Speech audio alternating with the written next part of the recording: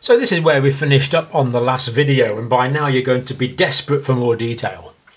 So let's start off by looking at the heart in a little more detail. And I'm using one of the diagrams from my physiology notes book again.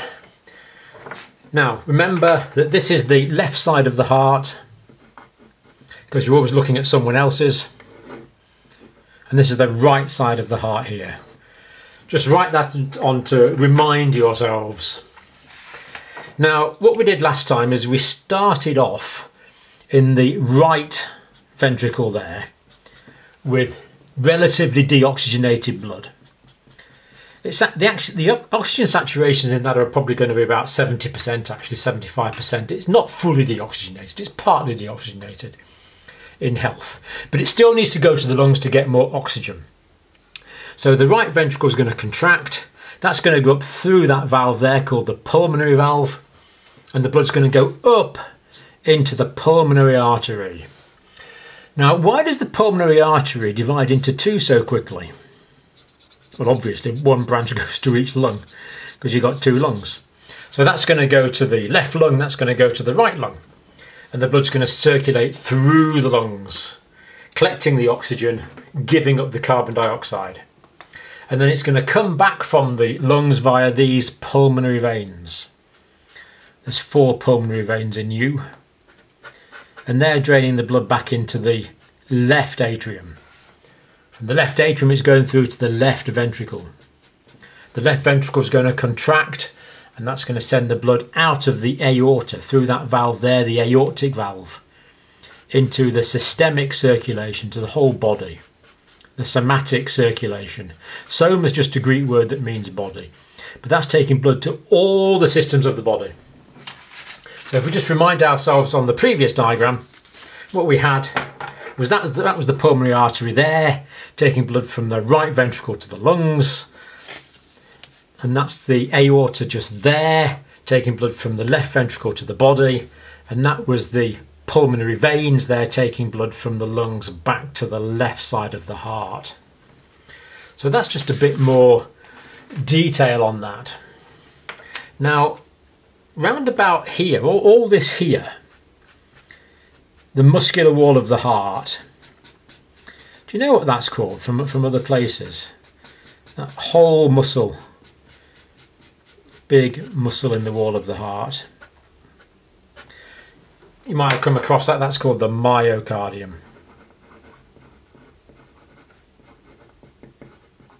And the myocardium itself, of course, needs a blood supply. And what happens is that blood supply comes via two main arteries called the coronary arteries. So these are the coronary arteries here. Coronary means they look like a crown, an upside down crown of arteries. And this vessel here is the aorta. So the very first two vessels that leave the aorta are the right coronary artery and the left coronary artery. So there's going to be other vessels from here up to the head and the arms and all sorts of things. But the very first two blood vessels, the arterial vessels that leave the aorta are the coronary arteries. And it's these coronary arteries, they actually go over the surface of the heart. They're not quite as thick as I've drawn them here in, in real life. I've drawn them a bit thicker so you can see them. But that's the left coronary artery. There's a main branch going down there called the left anterior descending branch, and one kind of goes round the back. That's called the circumflex, taking blood to the. This is taking blood to the left side of the heart. That kind of goes round the back. And this this right coronary artery here is taking blood to the right side of the heart and right down to the to the bottom, to the inferior parts of the heart as well. But branching out, taking blood to all parts of the myocardium. So the myocardium is not really getting its blood supply from the blood that's going through the heart. It's rather getting its blood supply from these two arteries, which are the first two arteries to leave the aorta. Here and here. These coronary arteries.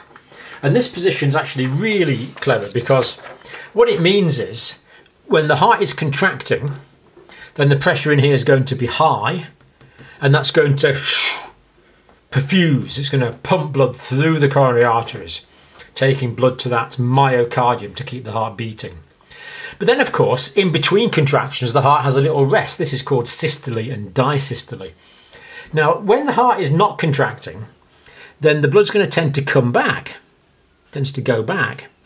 Now, the blood can't get back into the heart because this valve here is stopping it leaking back. That's the uh, the aortic valve, the aortic half moon valve. Sometimes it's called the aortic semilunar valve.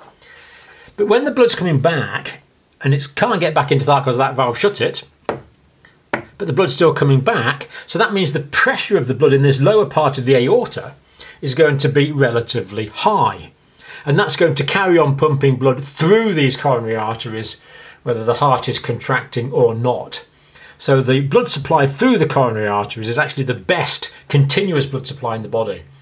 Because of its position, it gets blood during contraction of the heart, and they also get a blood supply during the relaxation of the heart as well.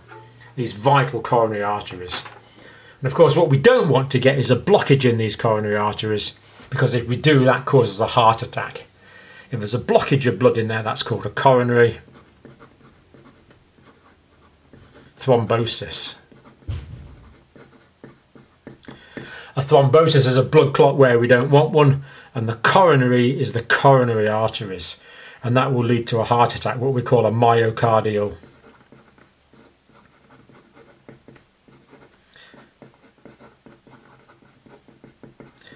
a myocardial infarction, which we certainly don't want. So don't smoke, do get plenty of exercise, do eat lots of fruit and vegetables, don't eat trans fats. If you're diabetic, do manage your diabetes. If you're obese, do lose weight. Um, did I say smoking? If you smoke, certainly don't smoke. If you drink alcohol, certainly don't drink too much alcohol because we don't want to clog up these absolutely essential life giving arteries taking blood to the myocardium.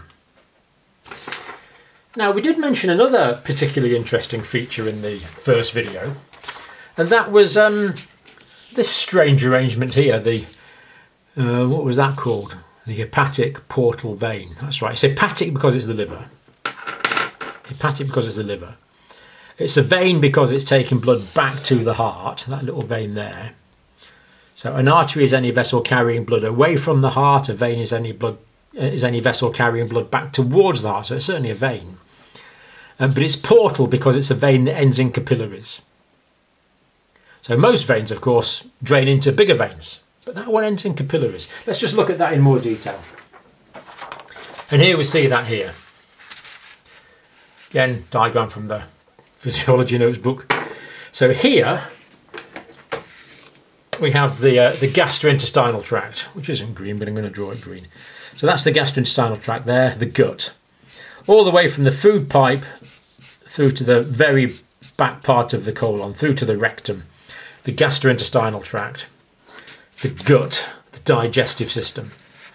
Now, the blood that's draining the gut is collected in all these little capillaries, these small veins here, draining the gastrointestinal tract. And that blood all goes back to the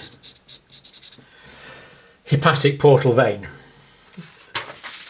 And that means the blood can go through the liver before it drains back into the larger systemic veins. So we can see here the blood's being sort of transported to various parts of the liver. And this blood is going to come into intimate contact, very intimate, close contact with the cells in the liver, the individual cells in the liver which are going to break down the toxins. Individual liver cells called hepatocytes.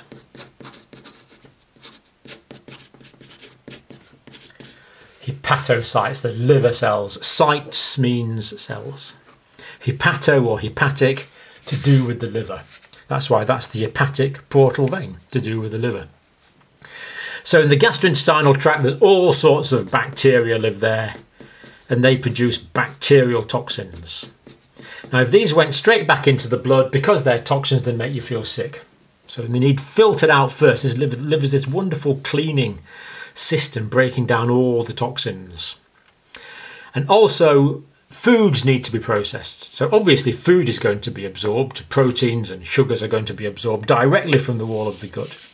The fats actually kind of go a different way around, but the the proteins and the water soluble vitamins and the um, the carbohydrates are all going to go straight to the liver for processing. So just to give one example, there's different sorts of sugar can be absorbed from the gastrointestinal tract because there's different types of sugar in the diet. But the only sort of sugar that leaves the liver to go back into the systemic venous circulation is glucose. That's the physiological sugar that we need. So all sorts of sugars might enter the hepatic portal vein there, but only glucose is going to leave via the hepatic veins. A vital role of the of the liver. And then the other diagram we use quite a lot is this one, and that kind of that's really, really we could have started off with this one because it's a simplified version of um, it's a simplified version of all of this one really that we've looked at. So what happens here is the blood, let's start in the left ventricle this time, blood from the left ventricle through all the systemic arteries into the body, all parts of the body. That includes the brain, the big toe, the kidney, the liver, the gastrointestinal tract, everything. Blood is deoxygenated, collects carbon dioxide, goes back via the systemic veins to the inferior and superior vena cava, into the right atrium, through to the right ventricle, out to the lungs. Relatively deoxygenated blood arrives in the lungs, gets oxygenated as it goes through the lungs, and that goes back via the pulmonary veins to the left atrium to go to the right ventricle again.